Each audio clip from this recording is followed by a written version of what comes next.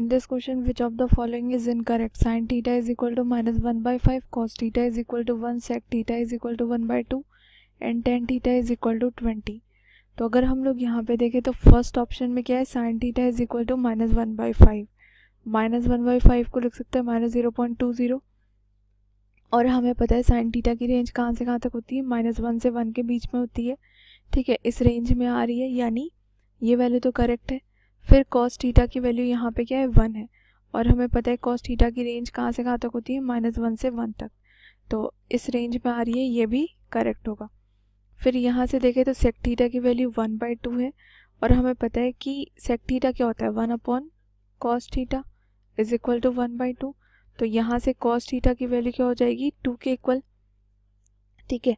But हमें पता है कॉस थीटा की वैल्यू कहाँ से कहाँ तक होती है? माइनस वन से वन तक बट ये ग्रेटर देन वन आ रही है तो ये वैल्यू पॉसिबल नहीं होगा तो ये इनकरेक्ट हो जाएगा। ठीक है, और टेन थीटा की वैल्यू क्या है? ट्वेंटी है। तो हमें पता है कि टेन थीटा की रेंज कहाँ से कहाँ तक होती है?